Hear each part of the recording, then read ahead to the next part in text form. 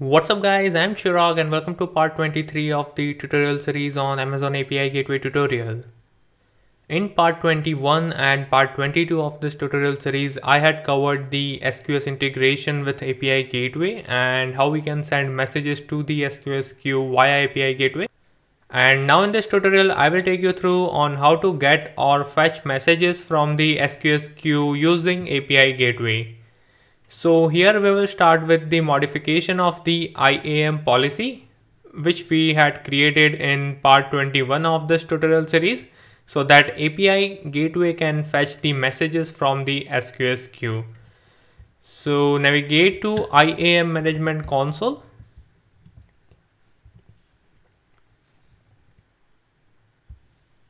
Now once you are within IAM management console, click on policies from the left panel open the policy that we have created in part 21 of this tutorial series. So in my case, it's SQS underscore API gateway. Now, once you are there, click on edit policy under permission. Then we will select JSON from here. Now, if you look at the action, then we had only one permission that is SQS colon send message. That means the API gateway can only send or put message within the SQS queue and cannot fetch the messages. So now here we are going to add one more line that is comma double quotes SQS colon receive message. Now this will let API gateway to fetch or receive the message from the SQS queue. So basically this will give the permission to the API gateway. Now, once you are done with this modification, click on review policy and we will say save changes.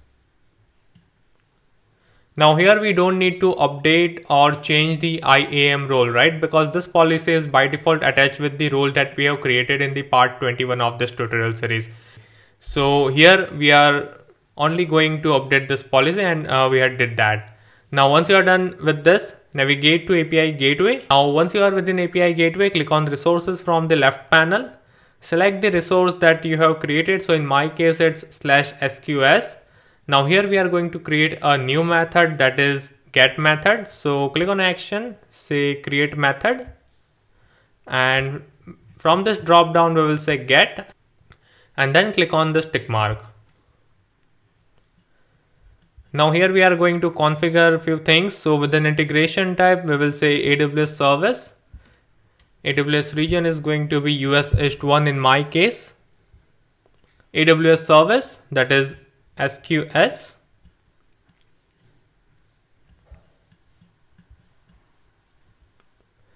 We will leave AWS subdomain as it is. Now within HTTP method, we are going to select get because here we are trying to or we are going to fetch the message from the SQS queue. So that's the reason the HTTP method is going to be get.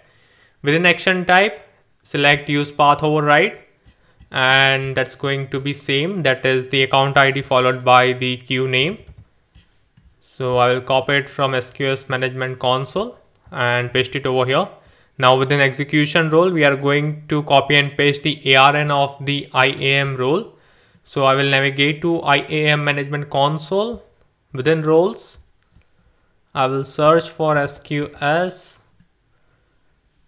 So here I have a role that is SQS underscore API gateway underscore role. So I have created this role within part 21 of this tutorial series. So copy the role ARN, navigate back to API gateway and paste it over here content handling and use default timeout. We will leave it as it is. And once you are done with this configuration click on save. Now once this is saved click on integration request. Navigate to url query string parameters. And here we will say add query string. We will define action. And if you remember then we had defined action as send message in the part 21 and part 22 of this tutorial series for sending the message to the SQS queue. Now here, since we want to receive or since we want to fetch the message from the SQS queue, the action is going to be the receive message instead of send message. So I will say receive message within single quote and click on this tick mark to save this. Now, once this is saved, I think we are good to deploy this API endpoint. So click on action, say deploy API, select the deployment stage that is version one in my case, and then click on deploy. Now let's see, let's copy this invocation URL, navigate to Postman. We will paste it over here, followed by the resource name that is SQS in my case, correct? and let's have a look at the SQS management console. So here we have three messages as messages available. So now let's go back to Postman and here we are using get method. So we had select get over here and I think we don't need to pass any headers or body. So we will say send and as you can see uh, we have a message that is hello correct now if we go back to SQS management console and reload this now message available will be 2 and message in flight will be 1 right so this is how you can fetch or receive message from the SQS queue now apart from that for example you want to pass on few attributes like uh, visibility timeout and maximum number of messages that you want to retrieve in one call so how you can do that? So let's have a look. So for that, we will go back to API gateway again. We will click on resources. Now let's say uh, we want to pass on visibility timeout as well as the maximum number of messages. So click on the method that is get in my case. Now navigate to method request, click on URL query string parameters. So we are going to pass on everything within query string parameters, correct? Now say add query string. Now here we will say visibility timeout. So that is visibility timeout and click on this tick mark. So the visibility timeout basically depicts that uh, it's a duration in seconds. So its value is going to be in seconds, right? So what visibility timeout will do is it will hide the message from the subsequent retrieve request after uh, the message is being retrieved by the receive message request, right? So for example, I am fetching certain messages. So it will be hidden from rest of the users that are trying to pull the messages for a given particular time. So basically that's going to be in seconds. So for example, if I pass on five seconds as the visibility timeout and now if I'm fetching any given message, so that message will be hidden for 5 seconds from rest of the users. Correct? So that's what visibility timeout means. Now we also want to pass on another parameter that is maximum number of messages that we want to retrieve in one call. So that's going to be max number of messages correct and we will click on this tick mark so what does max number of message parameter mean? So basically it's the maximum number of message that we want to fetch or retrieve, right? So here one thing you need to keep in mind that Amazon SQS never returns more messages than the value uh, we provide for max number of messages, right?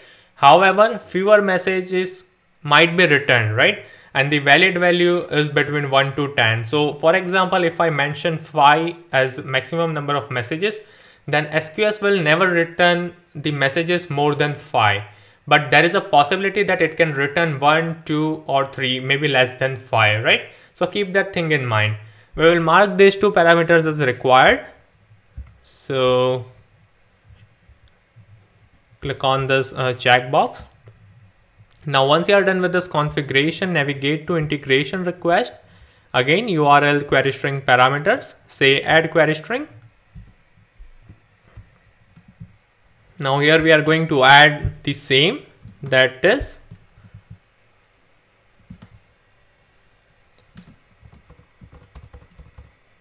visibility timeout and from where we will get the value of the visibility timeout that is from method dot request dot query string dot visibility timeout and click on the tick mark. Again, click on add query string. So this is for max number of messages. So max number of messages. Now from where we will get the value of max number of messages that is from method dot request string dot max number of messages. Correct and then click on this tick mark.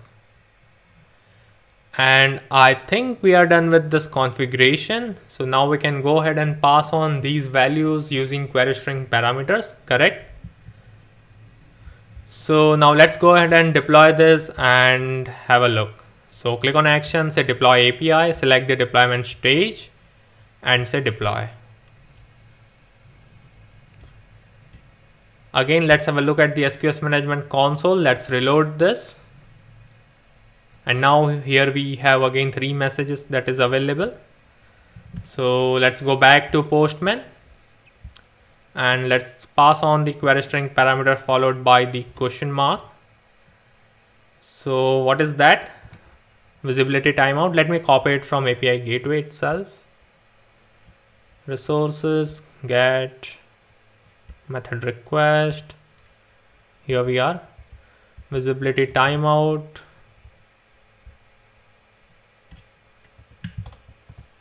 Equal to, I will say 10 followed by another parameter that is followed by ampersand. The other parameter is max number of messages. And I will say 2, right? Because we have overall 3 messages within the queue. So I will say 2. And if everything is configured correctly, then this will return status code 200 with few messages, right? So let's click on send and here we go. So here we have two messages that is hello and get post. Now these two messages will be hidden from rest of the calls for 10 seconds. Now if i go ahead and click on send again now as you can see we have only uh, one message. So as i mentioned that it can also return less than equal to max number of messages right? Now if i again click on send now here we have null, right? Because all the messages are in flight. I think 10 seconds is over and it will be back to the available, right? So maybe uh, let's increase the visibility timeout. Let's keep it 30 seconds. So we'll say send. So here we have one message. I will say send again. Another message. I will say send again. The third message. I will say send again and it will return null, right? Now if we look at here, then all the three messages is in flight, right? Now after 30 seconds, it will be back to message available. So let's have a look.